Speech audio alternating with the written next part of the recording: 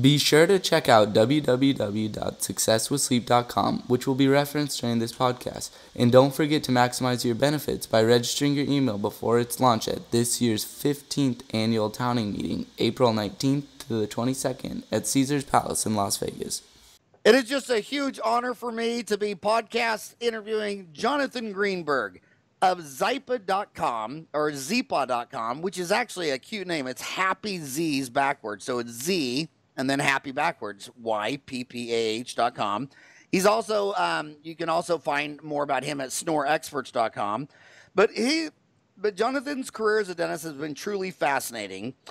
Um, he's the founder and owner of Snore Experts, which are five treatment centers in Los Angeles that exclusively treat snoring and sleep apnea. So you've you've all heard people come on the show and talk about um, sleep apnea and everything, and they're experts, but they mostly lecture. This guy runs five centers: Beverly Hills, Pasadena, and Ch- is it Encino or Encino? Encino.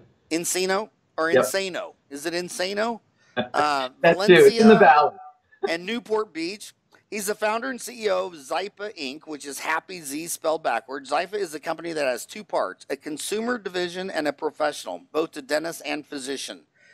He and his wife also um, wrote a book on adventure travel in the 1990s called If You Can't Remember Your Last Vacation, You Need This Book, which sold out its first two printings and for which um, he was interviewed on the Oprah Winfrey Show. So you were on the show with Oprah. Yeah. What was that like? It was pretty cool. It, I it bet was, she's a.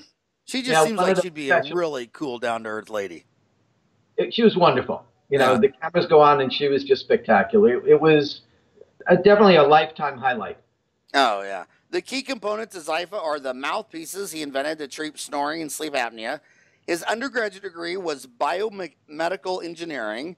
Actually, one of the first bioengineering classes to ever graduate Syracuse from Syracuse University. This was key to understanding how large a role the tongue plays in snoring and sleep apnea, and the fact that no one had developed a solution that was comfortable. Everyone was just focused on bringing the job forward. So, um, you graduated in um, from NYU, and uh, so you've been uh, in 1981. So, my God, how many years you've been practicing now? Uh, you know, it's since '81. We're talking about 30, um, 30, I guess about 36 years now. Yeah, 36. I, I, I took algebra and geometry and trig, and it took me that long to figure do the uh, subtraction on it. 36 years. So, you know, it's kind of uh, funny, Jonathan, because when I got out of school, I never heard of sleep apnea. I mean, I, I, I not only did we not have a class on it, I don't think I've even heard of the word or the concept. And then it seems like, you know, I tell everybody, uh, sleep apnea reminds me of that old commercial, that Mr. Kool Aid, where he just ran through the wall. And about 10 years ago, out of nowhere in dentistry, this big old Mr. Kool Aid runs through the wall named sleep apnea. And now, now you, you, it's all over the place. What, what made it just come onto the scene and explode like it did? And what year do you think it, Mr. Kool Aid ran through the wall with sleep apnea? I think it really started to become the mainstay about 2000, 2001, to between 2000 2005. And I think part of that was actually the change in technology for CPAP machines. So, you know, if there's not a solution, people tend to ignore it. But when you start to get solutions for a problem, then it starts to get big. And that's when the Kool-Aid, Kool-Aid guy ran through the door. How many millennials under 30 have no idea about that commercial we're talking about? Almost all of them. Yeah, they're all like, "What?" They they probably don't even know what Kool Aid is. They probably don't even know what Kool Aid. Let alone the big fat. It was a big red picture of Kool Aid running through the wall. He had arms and legs. Um. So what? So what is your um? So let's start with your website. Um. Happy Z spelled backwards. Z Zyppah. If my homies go to zyppah.com, what are they going to find? Well, they're going to find uh, mostly talking about the consumer mouthpiece. But one of the things I'd like to just jump back for a second with is for all the dentists listening, you know, whenever we go to something, you know, in, in the 80s and uh, early 90s, you had cosmetic dentistry, you had the tooth colored fillings, you had teeth whitening, uh, porcelain veneers that came on strong. And within a short period of time, every, indent, every dentist had some part of that within their practice. Then in the 90s and the early 2000s, you had implants, and that was the next big thing in dentistry. Well, in the early 2000s, and even uh, 2010, 2012, getting involved in snoring and sleep apnea was what I would call the early adopters. They were jumping into that at that time. But now, today, we're at a point where there's this, we're in that, you know, the, the end point of the hockey stick that's going up that exponential curve, that parabolic curve. And sleep apnea, snoring and sleep apnea treatment in a dental office if you're not doing it in your dental office, it's like the train is about to go by. It's going mainstream now for dentists. So this is very, very exciting in my world and bringing this on to dentists and why it was so important to us. You know, if you look at some numbers, and I'm a big numbers person, I believe there's about 40 million people in the U.S. that have sleep apnea, close to 100 million people that snore. And this number is growing rapidly because of the obesity rate and all of us baby boomers getting older. So when you look at that and you understand that less than 10% of the people with sleep apnea are being treated. So you have about 4 million people being treated. Of that 4 million, 90% are with a CPAP machine that has an 80% non-compliance rate. So I only have, if you're lucky, about a million people being treated with mouthpieces from a dentist which has a very high compliance rate. I believe that within the next two to five years, we will have 10 to 25, uh, 10 to 25 million people of the 40 being treated. So we're talking about 25 to 50% being treated. Right now, there are not enough dentists in the country trained to properly treat sleep. And so there's been a lot of issues thus far with people, dentists, uh, getting trained, being able to successfully build. There's a lot of issues with some of the side effects of sleep. And that was our goal. You know, what Zyppah did, and you talked about the Zyppah site when they go to zyppah.com. If any of your listeners listen to Sirius Radio, they probably hate me because they've heard the Jimmy commercials. You know, Jimmy's this kind of Goomba, the gangster from New York, New Jersey we are now the number one most well uh, branded advertiser on Sirius Radio. We spent a few million dollars last year. This year, we'll probably spend somewhere between 15 to 30 million dollars trying to, not trying, but actually doing an excellent job getting the word out that snoring is no longer acceptable.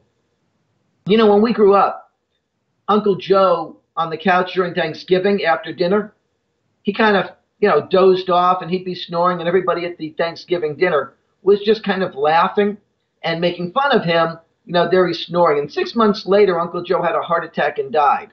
And nobody related it to the fact that it was snoring, which was really sleep apnea at the time. So, what we're doing with Zyppah is we're making it unacceptable to snore. If you snore, you're a pariah. It's like having bad breath or going outside without body deodorant. It's disrespectful to your bed partner, to your sleeping partner, and you need to get it fixed. And so, similar to, you know, Howard, you probably remember what was the impact with dentists when Crest came out with their white strips uh, through Procter and Gamble? How did dentists feel? They hated them, didn't they? Yeah, they, they felt they they they they were felt totally betrayed. Yeah, they felt betrayed. They said Procter and Gamble through Crest white strips are going after our bleaching patients. And what I said to my colleagues at the time, I said, "You guys are nuts." I said, "You should be thanking Crest and Procter and Gamble because they're spending fifty million dollars a year telling people they need white teeth. And what are they going to do? All those people now that didn't think people needed white teeth, they're now coming to your office because they now want instant bleaching and they want veneers and they want whiter crowns. So in, it it helped to spur that entire cosmetic dentistry revolution because people now felt they had to get white teeth. And we're doing the same thing. So I've had dentists come and say, well, you know, you sell a mouthpiece for $99 online. Isn't that competing with me selling, you know, them a custom mouthpiece for $3,000? And here's the reality, Howard, and these numbers are pretty staggering. We get every single week more than 45,000 unique visitors to our website. If you do some math times 52 weeks, you're over 2 million people a week coming, uh, 2 million people a year coming to our site, and that number is growing significantly. More than 50% of those people don't buy our mouthpiece because they need to see a dentist. So what we're doing is cre- we've created Zyppah Sleep Certified, the professional division, so that we can refer these patients to the dental office. Out of that 2 million, if we only refer 10% to our member dentists, that's going to be over 200,000 patients. Okay? The average dentist, the average diplomate in the American Academy of Dental Sleep Medicine sees five patients a month or 60 patients a year. If we're referring even 100,000 patients, that's a massive amount of dentists. But we have to get them trained first. And so that's what we're doing. Now, the fun part, you've got a townie meeting coming up in April, right? Right. April 19th to the 21st at Caesars Palace, Las Vegas. That's it. And the black and white party, we are doing, as you know, we are going to be doing a worldwide launch of the Zyppah Sleep Certified Professional Division at your party in Vegas at the black and white party and you know at Caesars there. Nice. So we're real Thank excited. you for doing that. Thank you for choosing a uh, Townie meeting as your venue to do that. Hey, Howard, I have loved what you've done for dentistry over the years. You know, you made it so all of us solo dentists were never practicing alone. That form was phenomenal. And so what we did, as you know, I've been around sleep for a while now. I've done one day courses, weekend courses, week long courses. We did a 12 month, we did 12 month programs. And none of those programs really were successful to the level that I wanted to, and to be able to allow that everyday dentist to be able to be successful in sleep and bring it into their office. I mean, you know, what you have to do is take, close your office, go travel someplace, then bring it home and try and tell your staff and get your staff going with what you've done. So what we did with Zyppah Sleep Certified is we created a whole library of online educational courses. So not only can you do it, but your staff can do it as often as you want. They go through the exams, they learn it. We have live webinars, uh, we have e-letters, but the key part is forums. So we have a specific dental sleep forum where any dentist who's a member can go online 24/7 and get answers from experts. They can they've got a patient in the chair, they can find out what's going on so they're not practicing alone. So is, is that, are those forums on zyppah.com or snoreexperts.com? So oh, everything is on zyppah.com. It'll be through the Zyppah Sleep Certified website. And when somebody becomes a member, okay, they will have access to all of that. And that's all going to be through the zyppah.com website.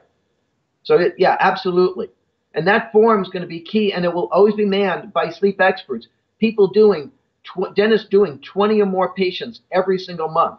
So these are going to be the top leaders in the country that are going to be on the forum helping other dentists. Now, here's one of the other big issues I had, Howard, and you can relate to this. A lot of people with programs out there charge a lot of money for these programs. They're expensive, and dentists go, you know, for sleep, how do I spend all this money? What we're doing is, and we're going to have promo codes out for Dentaltown members that want to join. It's only going to be $300 a month. That's it. And for $300 a month, they're going to be able to get every single benefit. We have one of the sections on the um, website are, are downloadable forms that we use in our practice. And so those forms include informed consents, what we do for our patients, testimonial forms, insurance billing forms, uh, marketing forms, you name it. There's over 100 forms that will be able to be downloaded for free. All of that is there. You know, and I've had people say, you know, what if somebody comes on because you have no contracts? What if somebody says, you know, I'm going to come on for the first month. I want to join and I'll spend $300 and I'm going to just every day I'm going to be on there. I'll go through every course, download all the forms, and then I'm going to quit. And so I've had, you know, consultants and people tell me, you know, you shouldn't let people do that. And the truth is, I'm not worried about that, Howard. if somebody wants to do that, you know, it's like Costco has this amazing return policy. And they know some people go and they buy the product, they use it, and then they return it. That's maybe 2 to 5%, but the other 95%, they appreciate it. And you get loyal people. It's, a, it's about the service, it's about giving and not holding back. Too many people, too many lecturers in dentistry, they kind of hold that secret sauce away. They don't want to give away their secret sauce. What we want to do is we want to give away everything. We want to make the dentist successful because the more successful they are, the more successful we are. You know, we're in a very unique place. We make our revenue, the bulk of our revenue comes from our consumer side. With our advertising, both on TV, I mean, we're spending hundreds of thousands of dollars every week on advertising. We have a billboard in Times Square right now, a three story billboard in Times Square in New York about Zyppah and getting the word out and the message out. So, our goal, we need to have dentists trained all over the country that can treat these patients. And so that's what we're trying to do is bring it towards them and bring this to everybody. You know, when when you, when you study economics, I mean, the Industrial Revolution really started about 1880, where uh, it, first it was a steam engine. It was pumping water out of flooded coal mines. And with any technology, it gets better, faster, easier, cheaper, and smaller. And when the steam engine got small enough, then it went into shipping. And then when the ships got here, it triggered canal building. And then there was the telegraph, the telephone, the internet. Um, when I got to school in the 80s, I thought it was the dental materials revolution. And that technology led was made us do the cosmetic revolution.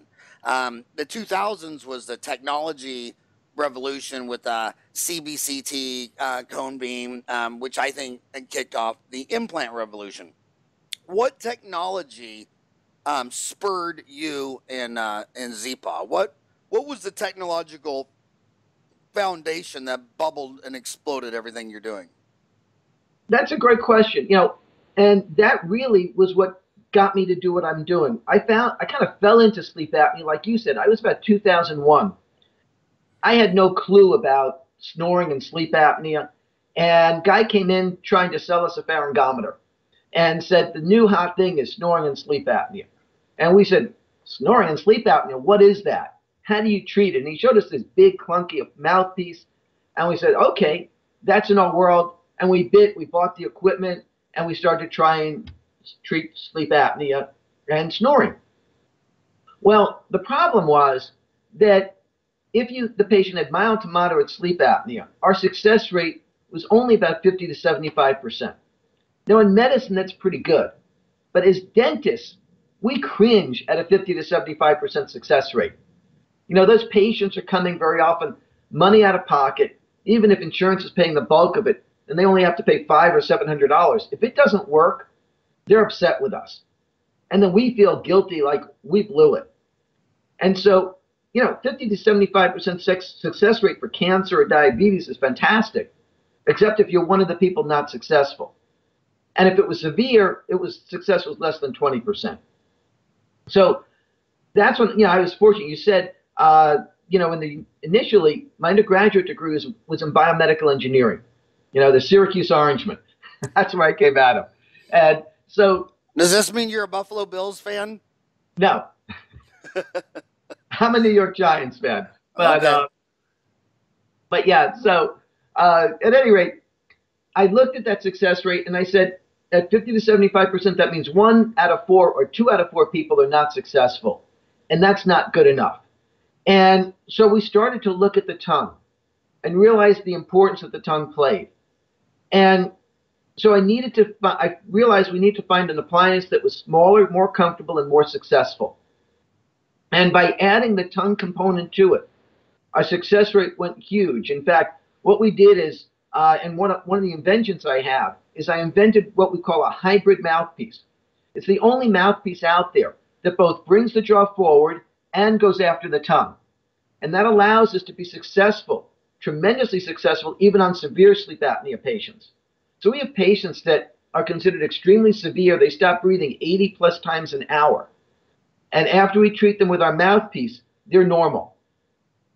So that's very exciting. And that's kind of what drove me to going and doing this. Now, the other issues were that I would hear lecturers tell dentists that TMJ problem, TMJ issues were a problem, but that's okay because you're saving somebody's life.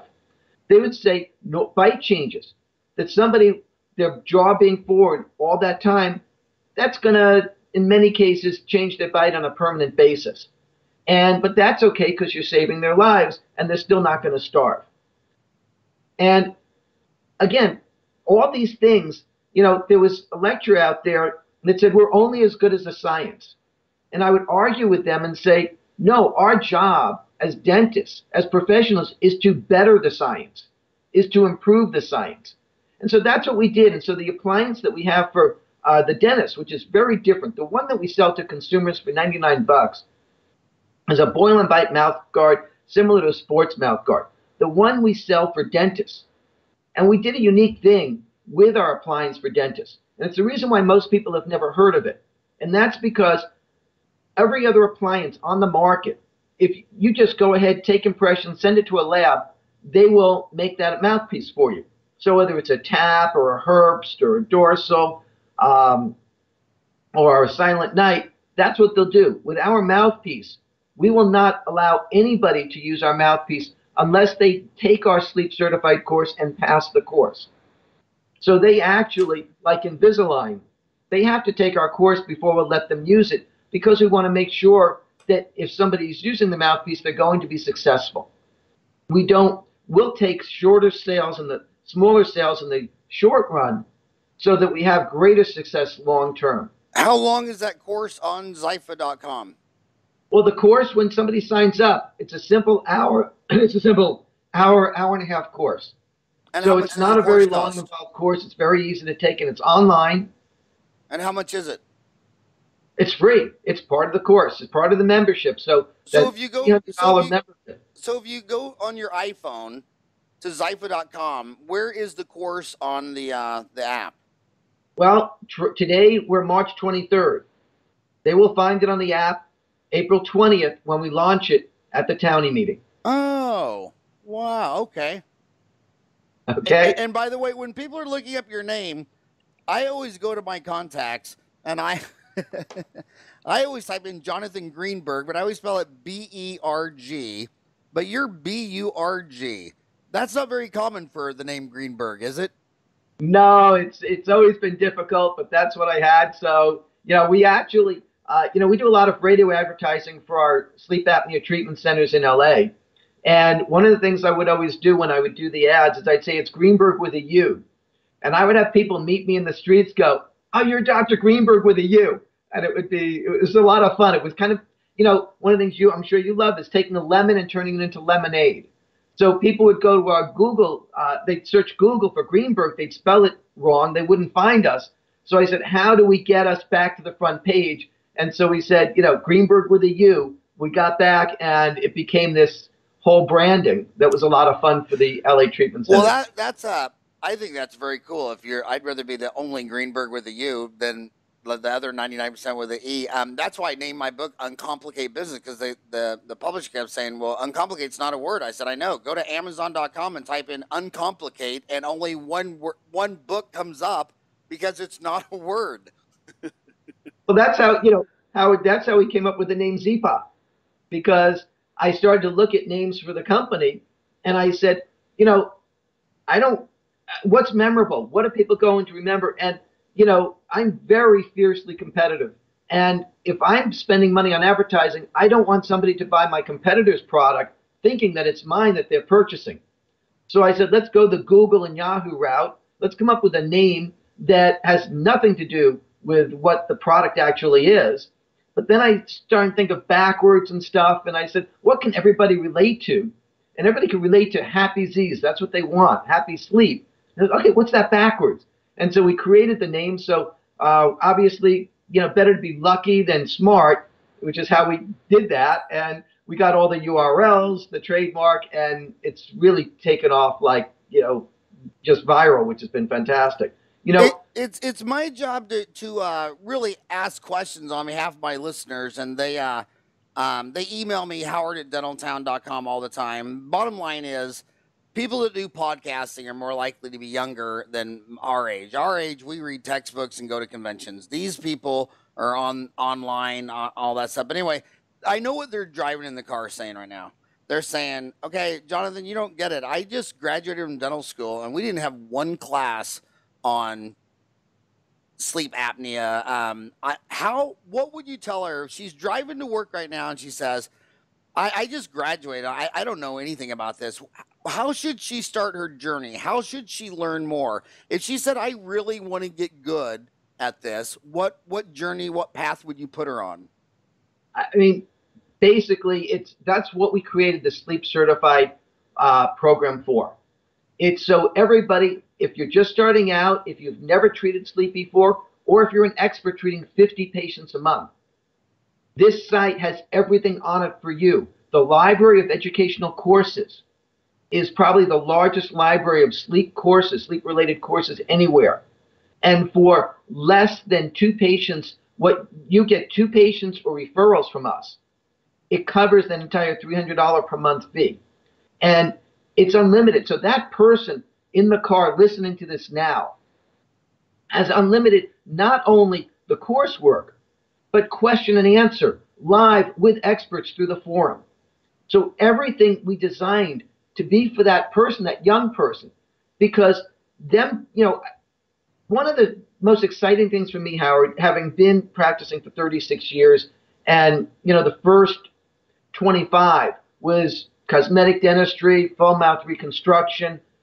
I thought I appreciate, you know, we had a dentist during one of our trainings out of Philadelphia uh, Dr. Slobodinsky. And he was out to my practice. And he saw it in the morning alone. He said, you know, in fact, I had him on a webinar and he said, you know, Jonathan, in my entire career, practicing 30 years, I maybe can count on one hand the number of times a patient told me what I did for them was life changing. What I did for them impacted my life, their life so much, and they appreciated like nothing else.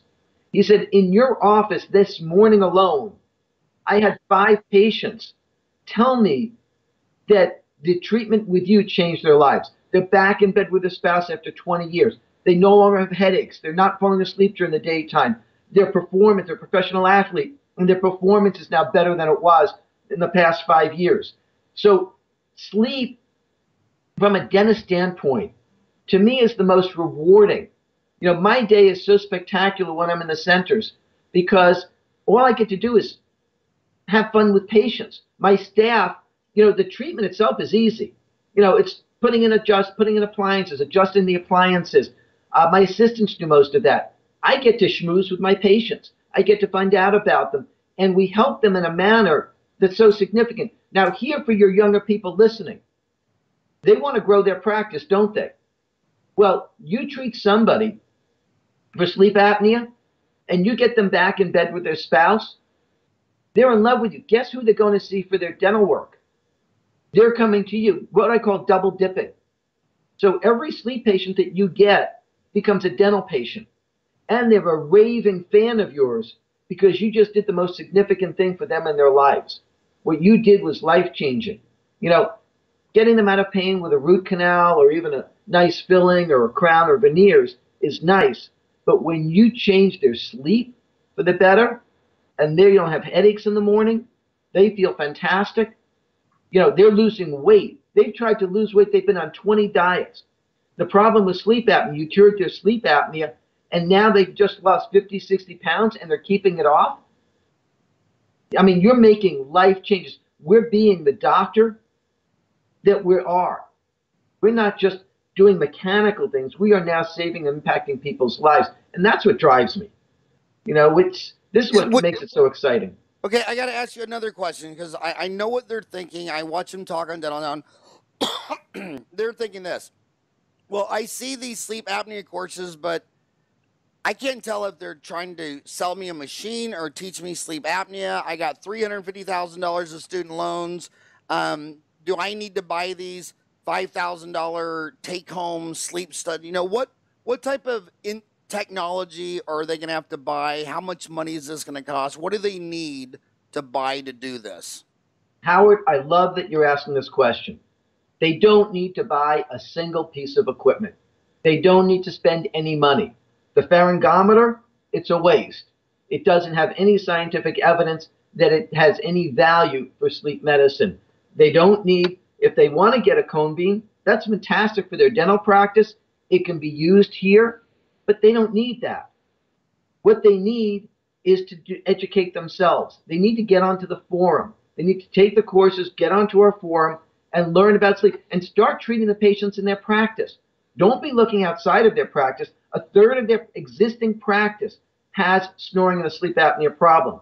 You know, I have dentists that tell me, you know, th- they don't have sleep apnea. What do I do with them? And I go, well, do you treat somebody who doesn't have decay with veneers? Do you whiten their teeth? Do you do cleanings if their teeth are healthy? Of course you do. Do you do ortho on teeth that don't have that aren't diseased? Of course you do. If somebody's got a snoring problem, there's no reason not to treat them. Of course you should treat them. And yes, they have to pay cash out of pocket, but they do that for implants and ortho anyway.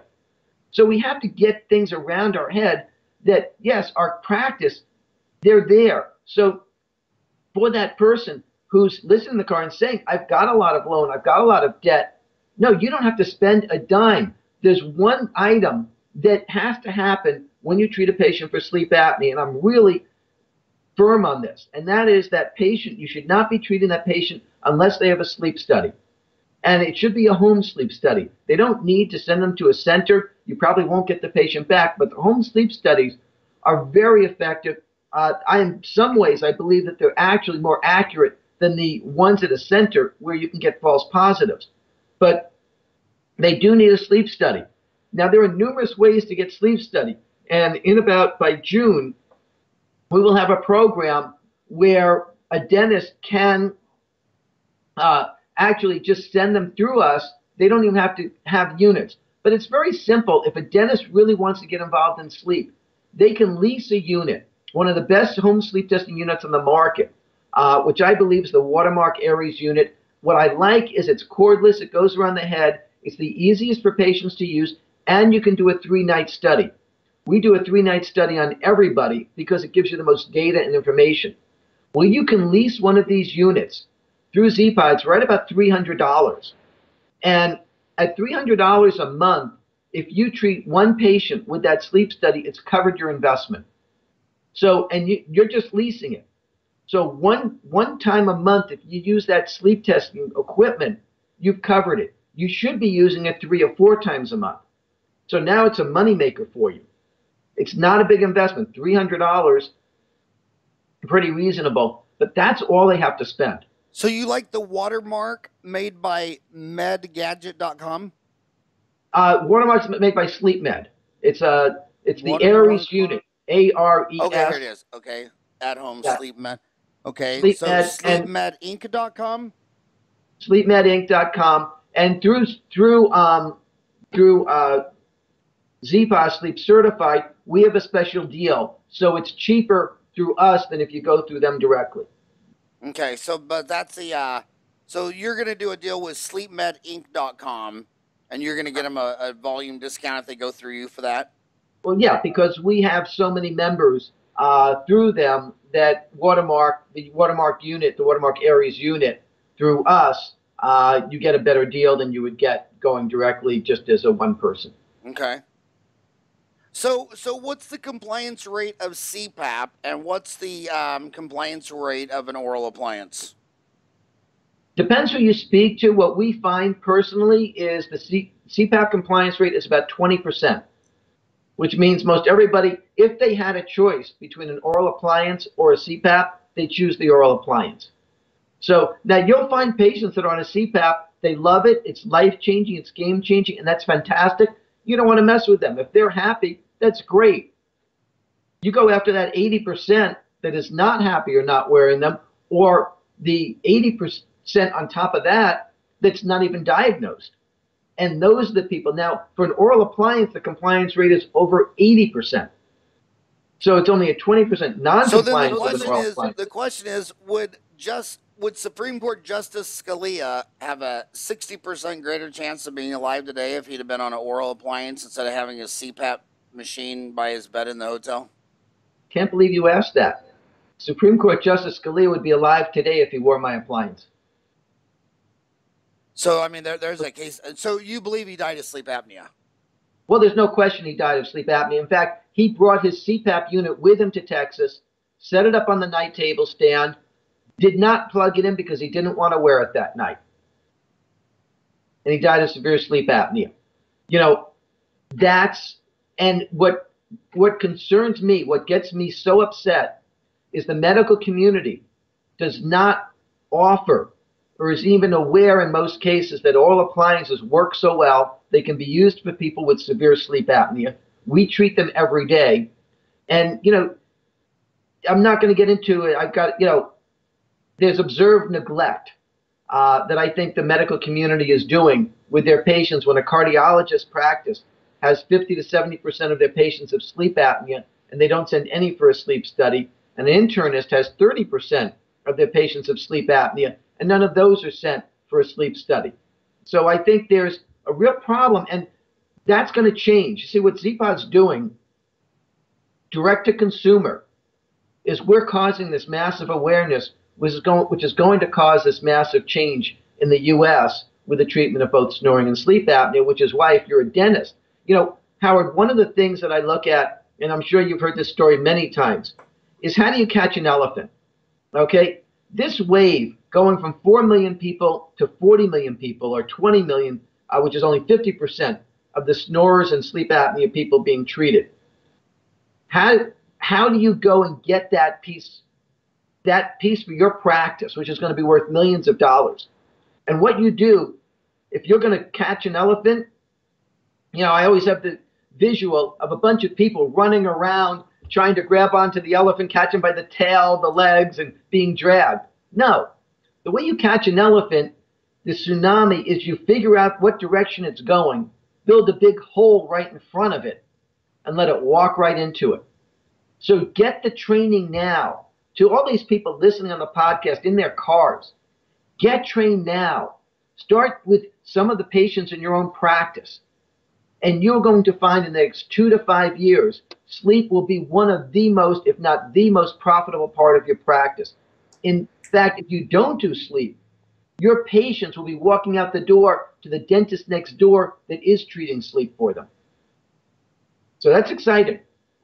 So you know the um, when I got out of school in '87, the biggest brands in dentistry were already made: Crest, Colgate, Listerine. The only big brands I've seen made since was uh, same strategy you're doing. Invisalign, they said we're just going to go straight to the people. Um, the the the orthodontist has been doing brackets and wires their whole life, and we're gonna we're gonna go after the people to go in and tell the orthodontist, hey, do Invisalign, and they're getting about twenty percent of the market, and that's what you're doing. You're building a B2C brand, so they come knock on the B2B dentist door and say, I want this. That is exactly correct, Howard. You know, there's a great book. I suspect you've probably read it called Blue Ocean Strategy. Mm-hmm. My Love favorite that book. Yep. And it makes what it says is you should not be in the bloody red waters that everybody's fighting about. Go where your competition is irrelevant. And in sleep, you hear everybody complaining because everybody's fighting over those 10% that are diagnosed and treated. All the sleep physicians, all the dentists, all the sleep labs are fighting over that 10%. And we said, that's just nuts.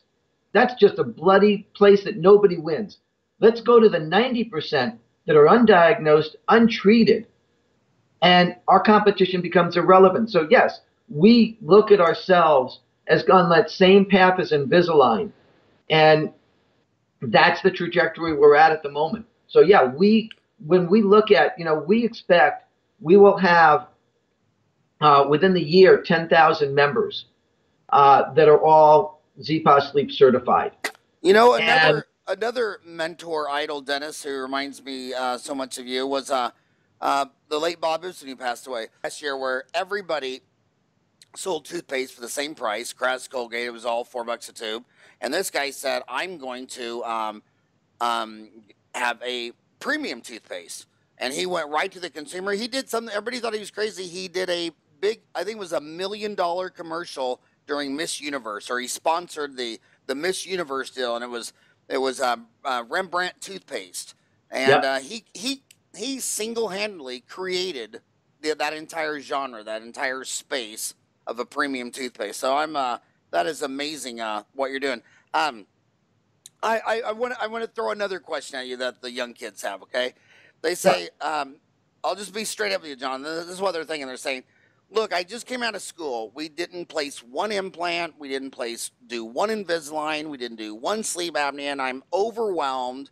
So you're um, competing. You're you're trying to get this 25 year old lady to learn sleep apnea, and she's been being bombarded to learn implants, Invisalign. You know, the list goes on and on. Why should she learn sleep and not surgically placing implants? Again, all your I love your questions because they're right to the point. Let's look at business. And some of the best business consultants for dentistry will tell you what do you make on a per hour basis per procedure. And if you're young and you've got to practice, you've got to learn these numbers. What's your per hour basis when you do a filling? How much you make per hour when you do a crown? How much you make per hour when you do an implant? The highest hourly rate you get is treating a sleep apnea patient. So the average case is $3,000. Our average, we get more than that, but the average patient in sleep is worth $3,000 and the dentist time is about an hour. So do you want to be making $3,000 an hour or $250 an hour? Plus, so that's plus the bloody barbarian stuff of pulling wisdom teeth, sinus lifts, bone grafting, all that.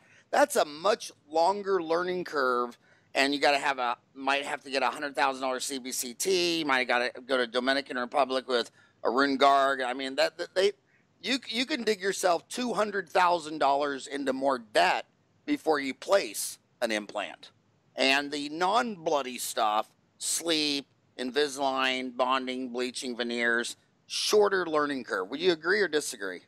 Oh, absolutely. In fact, sleep treatment is one of the easiest treatments that you'll ever see. Some of the processes are more challenging, which is what we're doing with uh, with the help and what we do through our sleep certified model. But the treatment itself is very easy. Also, the risk. You know, you talk about sinus lift or perforation of a nerve or such uh, when you do an implant. With sleep, there's almost no risk of malpractice. So uh, you're not doing anything that's going to harm in that way.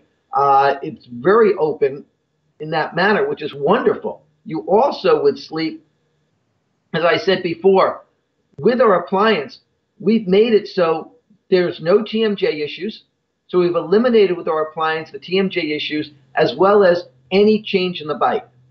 So we've pretty much through our educational courses and the programs, those are now no longer problems either. So yeah, I mean, sleep, one of the most profitable areas, one of the easiest areas to treat, one of the fastest learning curves, and one of the most rewarding from feedback from patients and loyalty than any area in dentistry. So, uh, and here's one other thing, Howard.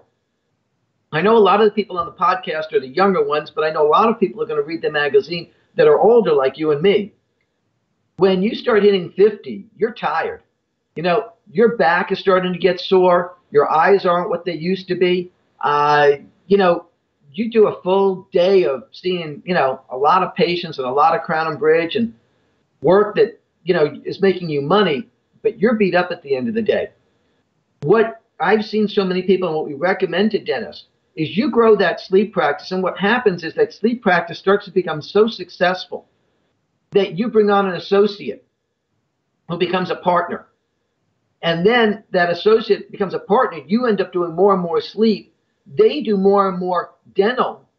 And then you decide, okay, I'm ready to pull the trigger.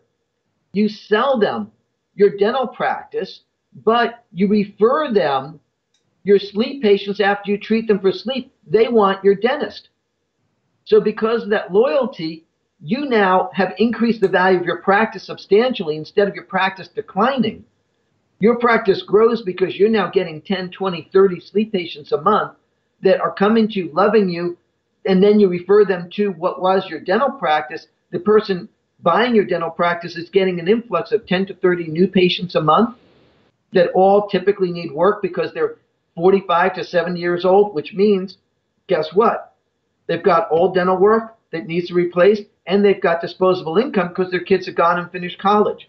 that's the ideal dental patient that you want to get, and you're referring them to your existing practice. So, as a transition, it's incredible.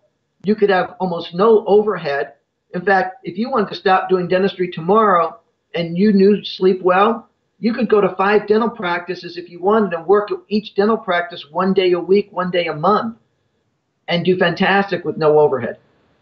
Okay, so I, I want to I want to ask you a very controversial question, and um, we get this a lot on uh, Dentaltown. I get this a lot to email me. Um, a lot of the younger kids walk out of school, and, one of their biggest complaints against guys our age is they say, "Look, you get 100 endodontists in a room, they don't really have any controversies, debates. 100 pediatric dentists, no controversies, debates. When it comes to TMJ, TMD, you guys can't, our generation can't get their shit together. They, you know, there's neuromuscular, there's this, there's that. And they say to me, why is TMJ so controversial? They almost see it as like world religions. I mean, there's Buddhism, Hindus, Muslims, Catholics, Lutherans. Uh, and, and one of the four, first forks in the road they come to is there's like neuromuscular camps, there's CR camps. Um, a lot of them can't even ask the basic question: Is TMJ related to uh, sleep apnea? Is bruxism TMJ? So just I want to hear your rants about TMJ. And by the way, no. some people email me and say, Howard, why do you call it TMJ? TMJ is a joint in temporomandibular disorders. Well, my response to that is my patients don't ever come in and say TMD. If your patients call it TMJ, it's TMJ. Same thing with the endodontist. They voted on a deal to stop saying root canals and call it endodontic therapy. Well, it's too late. There's 324 million Americans, and do they call it root canals or endodontic therapy? So uh, if, if your if your customer comes in and wants to talk about a root canal, you don't start talking about endodontic therapy. So I want to hear your rants on TMJ um, should she learn neuromuscular, CR? Is it related to sleep? Some say it is, some say it not. What, what, are, what are your thoughts on that whole subject? I, you know, you, you open up a whole wonderful big area. uh, you know, I, I believe in the KISS principle. Okay. And let's call it TMJ. I'm 100% with you on relating to the patient. I don't need to relate to my colleagues the way I need to relate to my patients. And I believe it's simple. I don't treat TMJ. Okay? When I have a patient come in and they tell me my jaw is sore, I can't open it, I'm having these difficulties, uh, and they're a sleep patient. So if they're not a sleep patient, really all I do is make them an NTI, and I haven't had a single patient in my 36 years of practice that if I make them an NTI, they haven't gotten better enough to where I don't need to do full mouth reconstruction or anything else. Now, but I'll leave that, that's Jim Boyd, right? That's Jim Boyd. And, and he, he, practices around you. Is he in Southern Cal too? San Diego, I think. San, eh, are you still are you still friends with him? Do you talk to him much or? I don't know Jim Jim Boyd personally, but I can tell you, you know, discluding basically TMJ in my mind. It's just my this is my opinion. It's all about the muscles. If you free up the muscles, then everything gets better. And that's what I did with my appliance. So I don't think you've seen my mouthpiece, but you know how all the appliances that you see for sleep apnea and snoring bring the jaw forward and they kind of lock it in a forward position. My appliance, we use elastics. We use orthodontic elastics to, to bring the jaw forward. And we change to a higher, we go from 6 ounce to 8 ounce to 12 ounce to advance the jaw. But what we accomplish by that is that we don't get um, we're not the jaw. We can provide freedom for the jaw in all three planes, so it can go left, right, forward, back, up, and down. That allows the muscles to be completely free without any interferences. In fact, we don't take a bite registration with our mouthpiece. So our mouthpiece is easier to take impressions for because you don't do a bite registration or things called a George gauge or estimate how far you want to advance them. We advance them based on what the musculature can allow. And when we do that, we find that we don't have any TMJ issues. I've treated thousands of patients, Howard. Okay, thousands of patients. I've never had a single patient that had TMJ issues that didn't get better with a combination of the appliance and kind of like an NTI combination within that. Do you so, agree or disagree that um, for the young, the 25 year olds looking at the older dentists, do you believe there's more controversy with TMJ than there is with, say, endodontics or pediatric dentistry?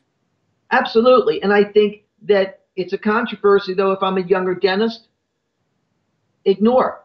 Don't don't lose sleep over it because they're both right. They're both right. They're both wrong. Keep it simple. What works for your patient?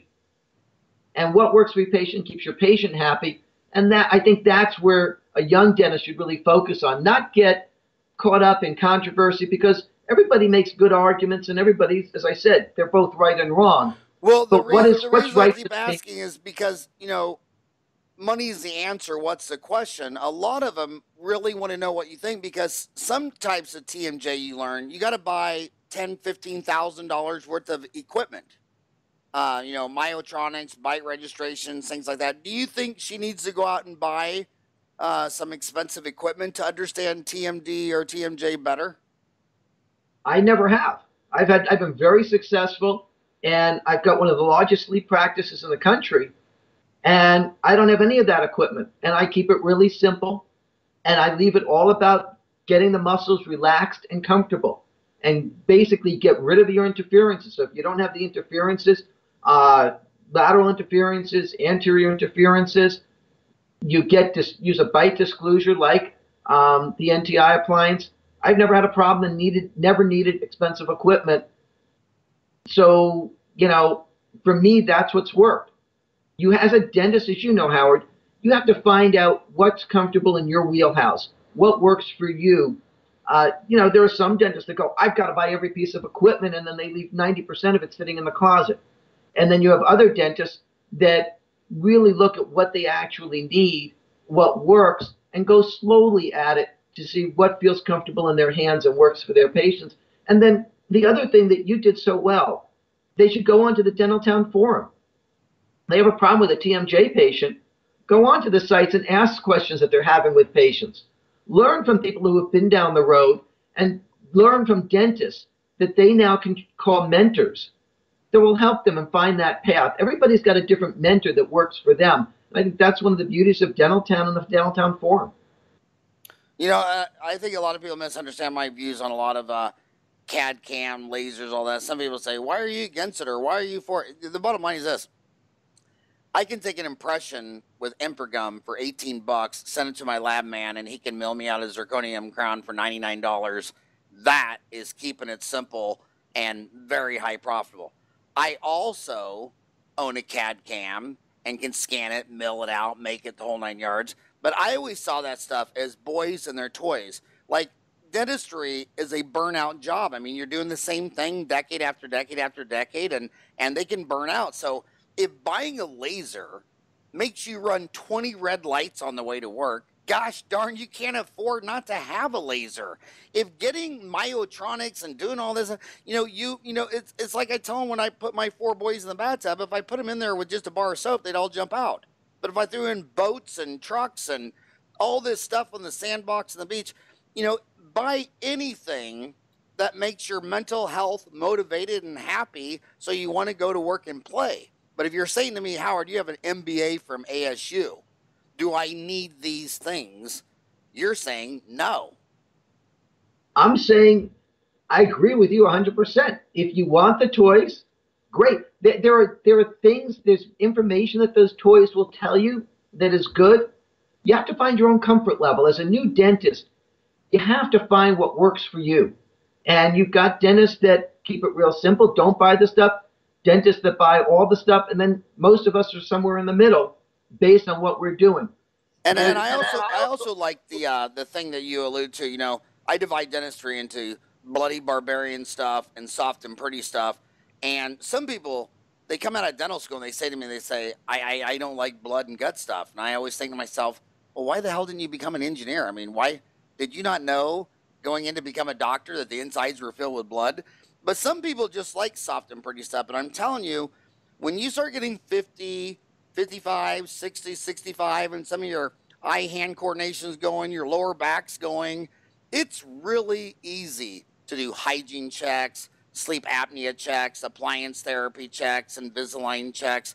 And a lot of dentists um, should diversify out of the stuff where, um, you know, I, I mean, I always thought to myself that if I needed to have like a, a, a brain tumor removed and I need like the ultimate doctor, you'd want the the the average between the most experience and the most youthful body to do this. And I was thinking the sweet spot is probably like 45, maybe 45 to 50 max.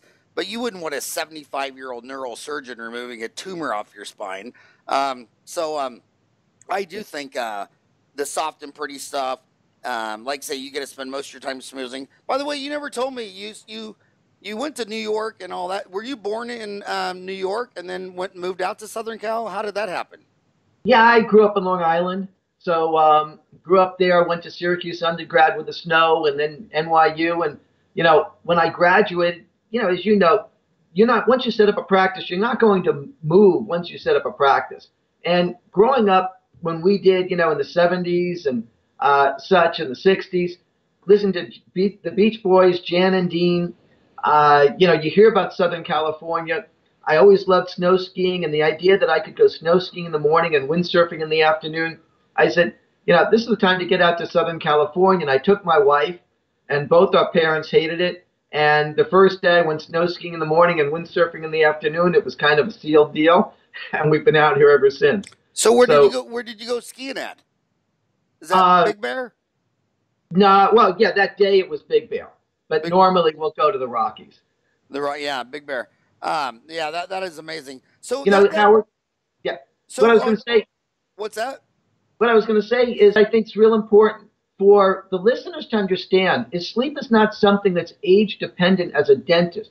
I have two partners, and one of my partners, Dr. Jay Chrisandy, is in his 40s. Our other partner, uh, Dr. Stephanie Coletta, she's in her 20s, and they're young and you know not old, and they love it. You know, what you want to do in dentistry is you want to do things that you're passionate about. You don't need to specialize, and it's not age related. Sleep has wonderful stuff if you're right out of dental school or you've been practicing for 30 years or more. So it's got all that. One of the keys that I would recommend to the people listening here, you know, there was a quote by Bobby Knight that I loved. And, you know, Bobby Knight talked about, he said, when it comes to winning, everybody has the will to win. Everybody wants to win just as much. He goes, the difference who wins and who doesn't win are the people that are willing to put in the work before game time. The people that are willing to put in that work, to learn, to study, to when they get beat up, they go, okay, I'm going to find a way. I'm going to turn that lemon into lemonade. And they're not going to give up. You know, I just heard somebody had relayed a story to me that I thought was fantastic. And it was about success and uh, I think the guy's name was Eric Thomas. And what he did is he talked about success, and uh, the story goes that uh, the guru said to this person, uh, "Meet me at the beach tomorrow morning at 7 a.m. or so uh, in a black and white tuxedo." And the guy says, "You're kidding! I want to learn about success, not go to the beach." And he goes, "Just meet me there." Meets him there, and he goes, has him walk in the water. And he goes, "Are you kidding me?" I'm in this tuxedo. And he goes, Do you want to be successful? Brings him out into the water, brings him further, and the guy's just looking like he's out of his mind. He gets in the water up to his neck, and then he has him go further. And then when he's like up to the top of his head, he pushes him and holds him underwater. And the guy is just, you know, struggling, trying to get up, and he finally lets him up. And the guy goes, What's that all about? You know, I'm trying to learn how to be successful. And he goes, how hard, how much did you fight to get that air, to get that breath? And he goes, what do you think? Of course I did. He goes, that's right. He goes, if you want to be successful, you remember how how hard you fought to get that breath, because that's what it takes to be successful today. You have to have the fight and the desire to not say when you come home from work, oh, I'm going to go read that I'm going to go watch TV and get some food and watch, you know, that reality TV show. Instead, it's the people that, like you have, that go, you know what? I'm not listening to junk radio. I'm listening to Howard's podcast because I want to be successful. I want to learn that. they take their free time and instead of watching TV, they're on the Dentaltown forums, learning what they need to for dentistry to be successful in their practice. You know, these young people going on, they look at us older guys and they see the ones that are successful and the ones that not are successful. And it's really clear who is and who isn't. And they should mentor those that are successful and they'll see those people have the drive. They did what others they when others were playing, they were working, they were practicing and training. So when it came to game. You know, I, they always say you're a summation of your five people you spend the most time with, and my gosh, that was the greatest thing about joining the uh, AGD and getting my fellowship, my mastership, because you know there's a thousand dentists in town, but it was always the same hundred guys at all those meetings. And when you start hanging around with people like that are always going for it, it just made you a better person. Same thing with Dentaltown. After work, 80% of dentists want to get a beer and watch ESPN and check out. Who are these people who want to get on to Dentaltown and talk about this stuff and share cases till three o'clock in the morning? I just a seven breed cat. I want I want to get your opinion. I want to um, say two things. You you mentioned Bobby Knight, and that answers a lot of questions because a lot of um, a lot of emails come in. They say, you know, I'm uh, I graduated three years ago. She's 27. She looks like she's not old enough to serve alcohol. She just bought a practice and she wants to learn about leadership. What leadership book should she read? And I always turn that around and say, you know, go back to your childhood. What leadership style worked with you? You you need to go back. Who who? I mean, you're a dentist. Somebody you had some role models in your deal, and that role model that worked on you that probably answers your type of leadership. Because like Bobby Knight, he got fired for his type of leadership. And I'm telling you, being a man for 54 years and raising four boys, some sometimes a leadership style that works real well with boys is throwing chairs out in the middle of the floor. Now, you know, it might not be the way you run the Girl Scouts, and it might not be the way you run some types of boys. But did you have a problem with Bobby Knight's leadership style with those boys? No, I agree with you. I think everybody's got different leadership styles. I have a gymnastic trainer that's just the opposite. Uh, but I personally respond to both. And I think certain people, and I've seen, I've got a son and a daughter, and my daughter, piece of cake. She can have a very easy leadership style from me. My son, he's just, I gotta, you know, wants just drives me nuts. He needs a forceful, very strict, tight, tight uh, box leadership style. And, and, and, you can't have one leadership style for every company and every institution and every vertical. I mean, there's a wide variety. And I'll give you another example that kind of brings home. It's like, like I want to be a good grandpa. I got two grandchildren.